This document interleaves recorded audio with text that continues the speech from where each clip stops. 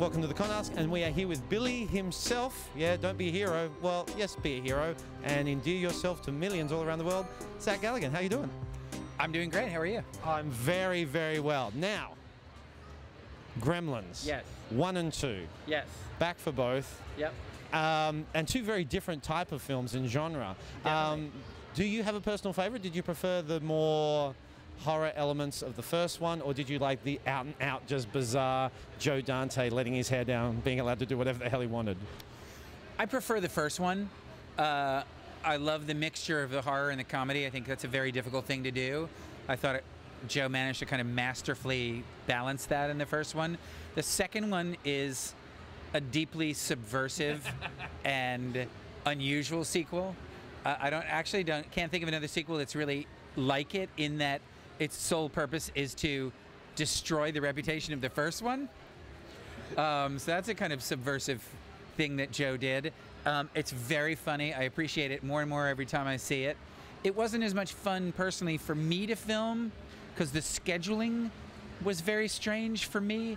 Uh, when I did the first Gremlins, I basically just worked almost constantly, probably 75 out of like 80 days. Wow. So I was busy, and I li- if I'm going to do a movie, I like that. And Gremlins 2, I did like the first 30 days, and then I had like 35 days off, and then I did like the last 30 days. So it was about 90, 95 days, and the middle was so, there was such a huge break in the middle. I went off. I went back to New York. I got sunburned. I peeled. I got pale again. I came back. I mean, it was a long break. yeah, that's and then you come back and you have to get your head back in the space again. And It was a very strange. it's a very very strange thing. Um, maybe people who do TV series. I've never actually done like a long TV series like Game of Thrones or Breaking Bad. Maybe they're used to taking those big breaks and then coming back and getting back into it. But that was the first time I'd ever had like the part interrupted like that. So it was strange. Um, and uh, how was it working with that amount of puppetry and animatronics? And how was that for you as an actor, working with you know puppeteers and all that type of stuff? Well, on the first, you'd have to talk about both movies because with Chris Walas in the first one, Rick Baker in the second, two wildly different ways of approaching it, two really inventive, amazing guys. Chris Walas was only about 28 or 29 when he did all of the effects on Gremlins, and he was essentially making it up as he was going along. Was it just him? Did he have a team or just? Well, when they hired him, it was just him. and he told a story. We did this thing for Empire Magazine where we got like six of us in a room from the movie uh, Rick Baker and Chris and Joe Dante, Dick Miller, myself. And everybody told their side of the story. It was like Rashomon. And everybody had like different experiences on Gremlins. so I didn't know this until a few months ago. But when they hired Chris Walas, he did it on a handshake deal. And he said, I will do all of the effects for Gremlins, everything signed on the dotted line. And when he literally like closed the door and said, "Great, I can't wait to get started," he had no team, no people, no puppeteers, nothing, work, no shop, no place to build it. so like he signed the deal and then he had to go get everything. How long? How much time did he have to? I think he had a, I think he had a good year to figure it out, but it's such a massive undertaking. Yeah. A year is actually not that much. That's no time at all to get an entire company up. to get an entire company up and running.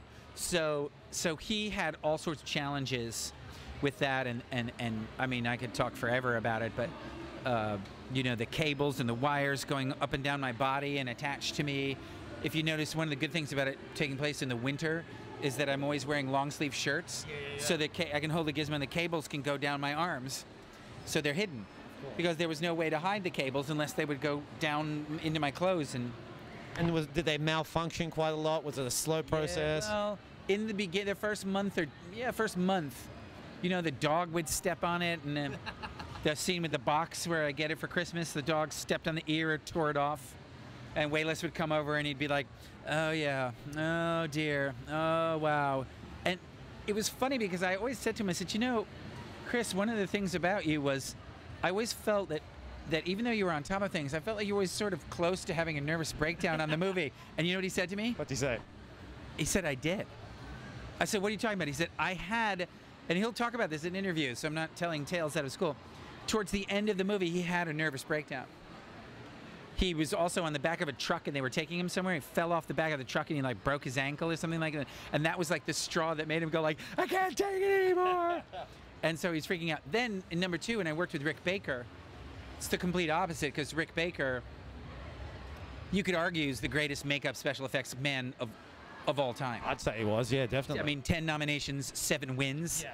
That's ridiculous. That, that's that's that's You're- evidence. When you're batting 70%, I mean, that's just, that's crazy.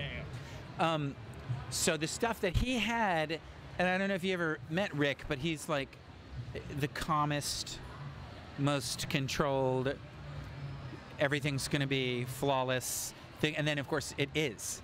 And he's just, his uh, preparation is so immense. So you went from somebody who was like creating brilliant technology on the fly to someone who was creating brilliant technology but had 150 people working for him. yeah, that, that's a whole different type Had of. been doing it and, and had been working for him for eight years. Yeah. So it was, it just was smoother and and and. Um, but some of the stuff that he was trying to do, like the brain gremlin. I mean, when they first showed us the brain gremlin, that's one of the craziest things I've ever seen because you got to remember it's 89. There's no internet. There's, people don't have personal computers. You don't barely you didn't even have answering machines. Yeah. And so what he did was they got Tony Randall to do all of his speech first. Oh yeah. So he went in and he did it. And then they fed the audio into a babe like infant computer, like baby brand new computer. and the computer would break down the syllables into I don't know what numeric strings or maybe binary code or something like that. And each code would trigger one of like 50 facial muscles in the brain gremlin.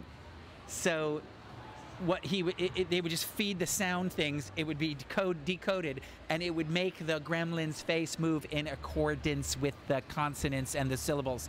And so i mean now maybe you'd say that's pretty cool 2014 but in 1989 we were like this is the craziest thing i've ever seen in my life and with computers it was like it's the coming of the fu- you know it was it was it was insane Yeah, to hell with CGI, man. That's all. I love that hands-on real stuff. i mean it cost a fortune Of course.